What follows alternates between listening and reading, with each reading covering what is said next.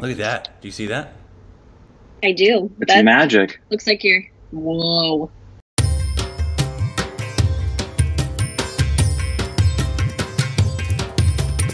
Our stupid reactions. Tune in for.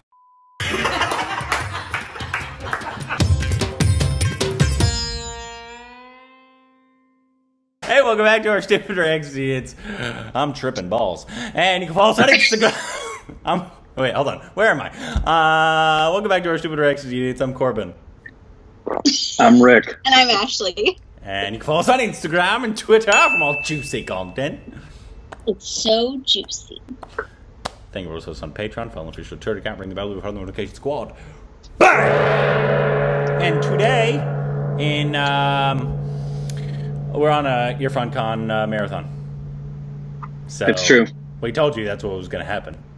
Uh, but we finally, well, I finally watched. They they saw it when it came out. I finally watched uh, Life of Pi uh, with uh, Irrfan Khan and directed by um, Ang Lee.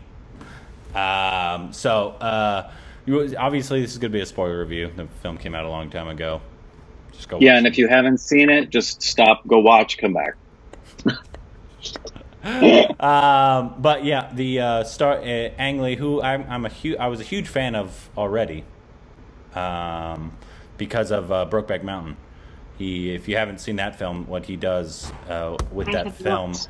and how he how how he works, um, from what I've heard, is very. He doesn't give a lot of um, direction. He's one of Hmm. those. He's one of those directors. He's one of those. It's pretty extraordinary just in the comparison of those two films. They're both brilliant, but so extraordinarily different. You would think it's actually two different directors. Yeah, a hundred percent. Like this is almost like um, Avatar Light. Yeah. Uh, yeah. Yeah, as, ter- as, as far as visuals are concerned, that's so a in, good. ter- in terms of visuals. Yeah. Um, but yes, uh, so yeah, if you haven't seen it, go watch it. So um, I liked it. just just to let y'all know, I liked it. Uh, I do wish. Uh, hold on. Okay, cool. Uh, I froze for a second. I do wish Irrfan Khan was in it more. Uh, I, I was missing that. Um, Yeah. But I, I, I want to talk about his performance right now um, because it was so, so different um, from everything else. And obviously, I'd seen bits and pieces of his scenes because it's it's a pretty famous, especially with um, him passing. That one scene of him saying uh, "never saying goodbye" has been going around, you know, all over the place. So I I had seen that before, uh, and and uh some other visuals from it. But his character is so different than his normal characters, um, which is another thing I'm loving. Um, the more we're exploring Irrfan Khan, um, because at the beginning we saw him in uh, what is it, Piku, and obviously we knew him from Hollywood a little bit, um, but we we saw him in Piku, and then we saw him in um, as the Ghost, and we saw him in, in a couple of those roles. The cu- past couple roles have been very different, and this is not a role like the one that we just saw Paan Singh, uh, where he's obviously playing almost a villain type thing. Um, he's playing a pretty straight man, but he almost didn't look like Irrfan here. Uh, Yeah. that- that's what it felt like to me. It didn't. It felt like I, I know he was much much younger in this, but this felt like old, like uh, old. 60s, 65 year old Irrfan Khan almost. Even though he didn't, he didn't look like that, but he felt like uh, like almost like an Amitabh Bachchan character. At times. That's what it felt like Yeah. to me, which uh, is very different than what uh, uh, I'm normally used to from him, and I loved it. Obviously, he was so good and so flawless, um, and um, I was cherishing every moment uh, I saw him on screen. Um, but yeah, Especially because there's not a lot. He's in it, and it's like a, he's a big part of it, but he's not seen very much. yeah. Since it's one of those ones that obviously he's playing the older character that's telling this story, Mhm. uh, he's basically like the Rose from Titanic, except not Basically. 95 years old. Uh, Yeah. Um, but yeah, Like this can't just be me reviewing this. We're just gonna sit here and listen. to Well, you. you, everybody hears from me. What are what are your thoughts? I mean, you, you we saw it multiple times when it when it came out. We loved it, and I think we saw it like three or four times so. um, when it first came out. Mhm. yeah. So, but this was your first time seeing it since we saw it in theaters, yeah? Maybe- Well, maybe I- you second know, time. I don't know. Maybe It second. a It's long been time years. ago. It's been years since we've seen. You've. Like I didn't watch it last week. If that's what you're asking. That's what I'm asking. Yeah, I did not. Watched it today. Um, but I love it. I love all the visuals of it. Mm. I think it's so pretty. Oh my goodness. And I think um just because there's so much time spent on the boat, Mhm. there's so much that I don't think a lot of movies show about just like the ocean. It was almost like you're watching a nature video, you know, on National Geographic or something where it's like this is what can happen when you're on the ocean. Mhm. yeah, the visuals were beautiful. A lot of that stuff was not how animals act in the ocean, but uh, uh, animals don't just swim at the top of the ocean like that. Uh, in the, can. in the in the well, the whales, yeah, uh, but just the regular fish that are just there, the mahi mahi. There's birds; those are prey. They don't just sit on the top of the water like that. and I know, obviously, I know what he was doing. Obviously, this is a guy telling a story, so the the writer Yeah. himself is visualizing what's happening, and so he's creating a grander picture. Obviously, um, Right. Uh, Yeah. So I knew that's what was going on. Uh, but yeah, the visuals were um, so so beautiful uh, with all the uh, luminescence of the water. Um, Yeah, I and all the- love that. Oh my gosh. I loved Ooh, how beautiful. sometimes he made the Pacific Ocean look like it was a pond. Uh, I know. Mm-hmm. I was like, the Pacific Ocean is never that calm. Okay, just letting you know. like, where in the Pacific Ocean are you? uh, but yeah, the uh, uh, loved the, the visuals. Uh, the the main actor I thought was good. I didn't love him all the time. Um, not my favorite, but he wasn't bad. Uh, he was he was fine. He he did fine. But I was much more looking forward to Irrfan uh, playing that character than I was him. Yeah. Um, Yeah. and I like watching the tiger, which was completely not real. yeah. Well, what story do you think was real? Oh, I mean, obviously The one with, the, the tiger. tiger. Yeah, yeah, of course, right? Of course. Obviously, why would you even think about anything else? Yeah, because that yeah, makes so much sense. Hey, they owned a zoo. I was This is- just well. The thing that told me it was dumb is right at the beginning when the orangutan was floating in, right? Um, not that the bananas don't float. He didn't take any bananas. Didn't we do that? We did. And I Every, don't everybody what it did. was. Everybody did. Did when that movie came out, took bananas and threw Tried to make in- them tried float. and threw them in pools to see if they would float or not. They do float. Yeah, bananas do Yeah. float. Yeah, bananas float, but that's Yeah. not what I'm saying. It's he, No, I know. He was in a raft and he knew he didn't have anywhere to go, and there was a twenty bundles of bananas, and he didn't take any of them. Who the orangutan? no, him. Oh, He's a, he was an idiot. I don't understand. Eat the bananas. That's that's the stuff that bothers me.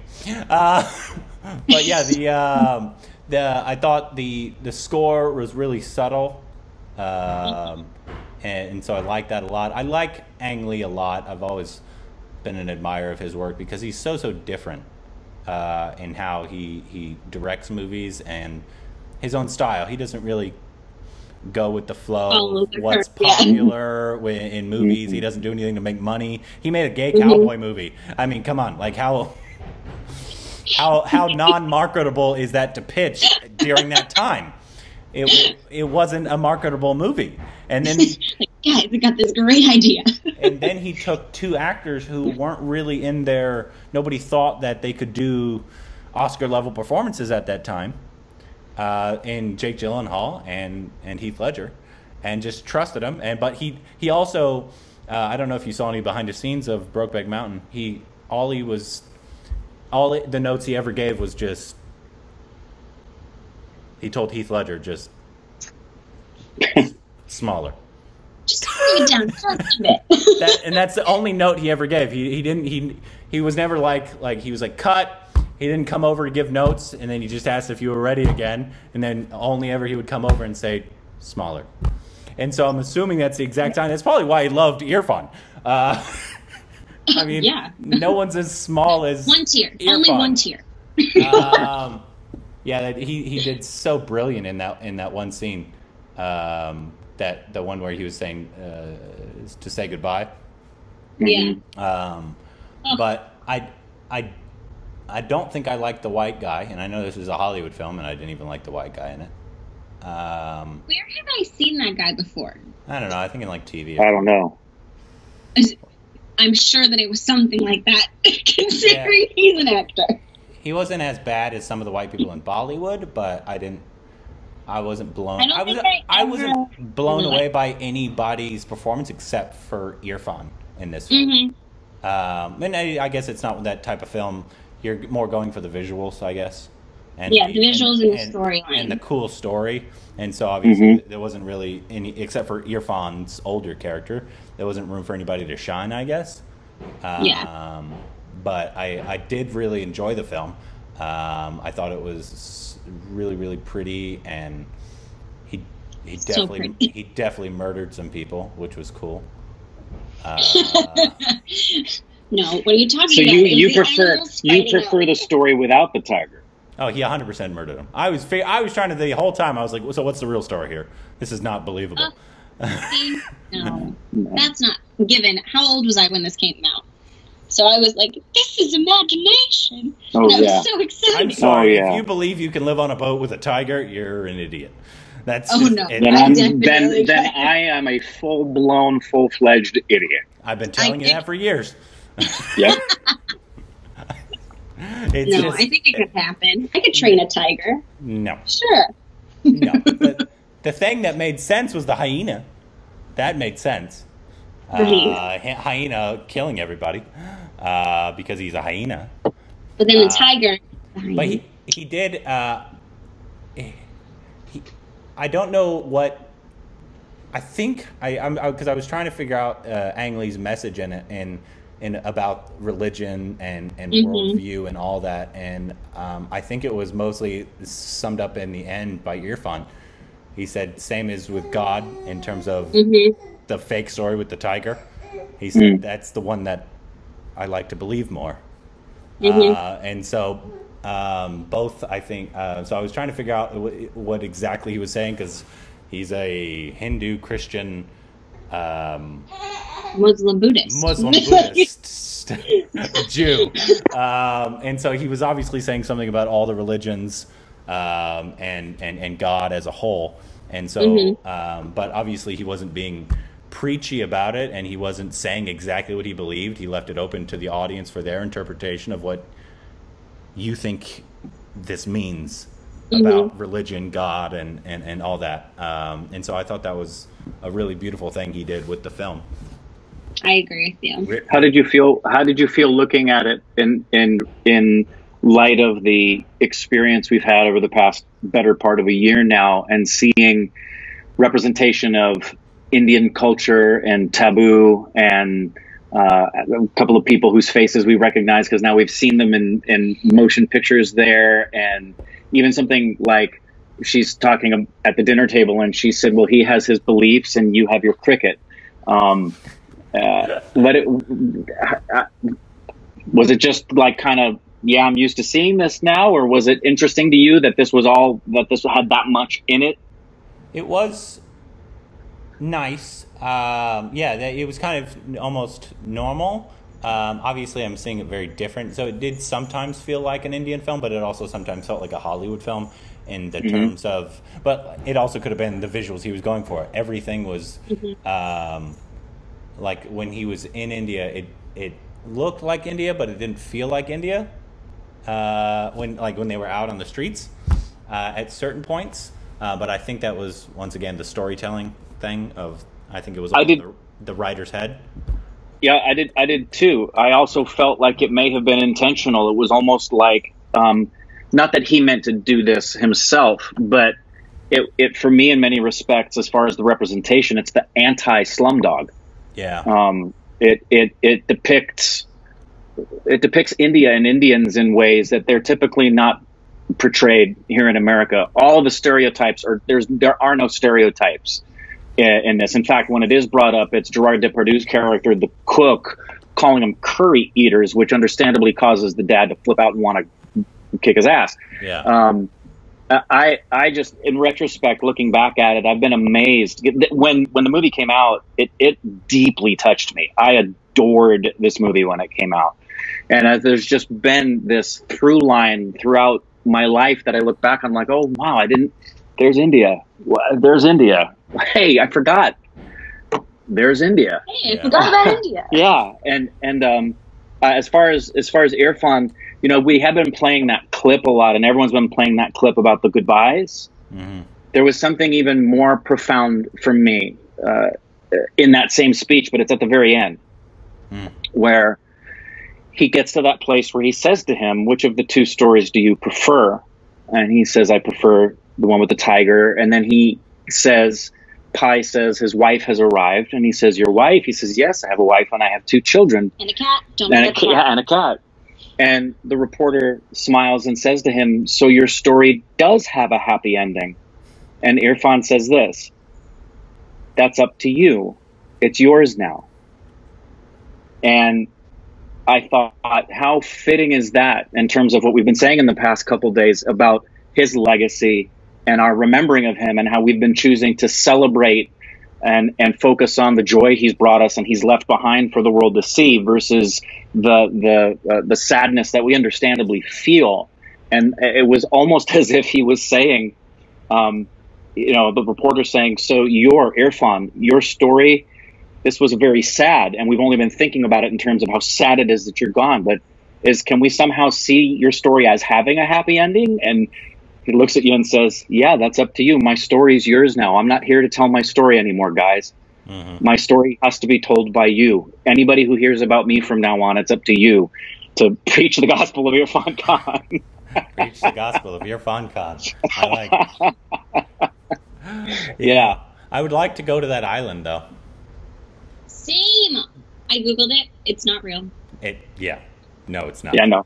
A, a man-eating case island. you were wondering. I, Well, it I- is. It is real on a certain level of metaphysics. oh well, yes, but if we're gonna get metaphysical, this is gonna be a much longer conversation. no. Uh, but I, I actually thought it was gonna be like plants growing on the trash island, basically. That's what I thought. I like, are they gonna get? Are they gonna get like uh clean up the clean up the planet uh, with this?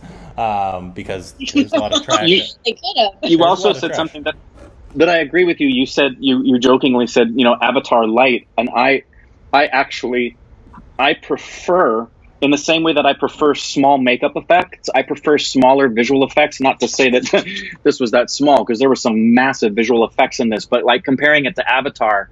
Um, Avatar is nothing but a visual effects spectacle every frame of film, pretty much. And what uh, I I just marvel at not just the beauty, uh, the beauty of it, but how how that tiger is not real. That that tiger is a, is a CGI creation, and it's just a flawless CGI creation, as is everything else visually in in the film. And it reminded me as well as you know we're watching it on the screen. I'm really happy we can watch movies on TVs and stuff that's made straight for streaming. But the two aspects of a movie experience in a theater that are irreplaceable are the common experience of everyone together sharing that experience, the laughter, the crying, and you're doing it as a collective uh, humanity. But like a film like this, the immersion. You Yeah. cannot, you don't get immersed in Life of Pi. It would. This film was made for the big screen for you to get utterly lost in these visuals. It, it it does lose its majesty when it's lowered to a small screen. Unless you have a home theater. Yeah, unless you had a massive home theater. One day. One day. One day. Uh, One day. Yeah, but yeah, Irrfan was beautiful, wasn't he, as usual? Yeah, it was one. Yeah. It was a fantastic performance and a very, like I said, it felt. It didn't almost feel like Irrfan um, in terms of it didn't look like him, uh, especially for Yeah. uh, knowing how young he was during this. Uh, It didn't. Yeah. It didn't feel like him.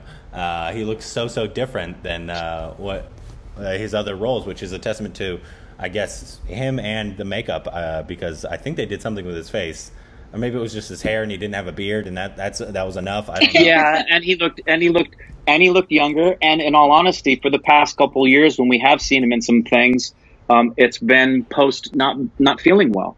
yeah.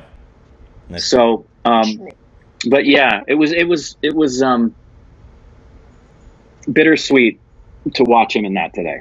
Yeah, I was uh, I was cherishing every moment. Uh, Yeah. w- watching it. Um, but yeah, so I finally watched it. You're welcome, guys. Uh, yay for Korbin. It's only how how, how, Yay for Korbin. how long's it been out? Oh, um, a long time? Um, Uh, I think I'm gonna guess that Life of Pi came out sometime in 2014. hold up, hold up. That's my guess. 2014. Let's see. 2012. Oh, I was close. Same 2012. Paan Singh. Uh, uh, was that same year? Yeah. Wow. Yep. I wonder how many films he. Great.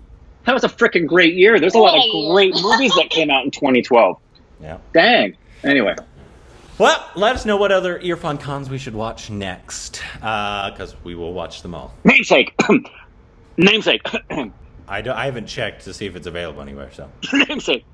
I s- once again still haven't checked if it's anywhere. So so stop coughing, coronavirus.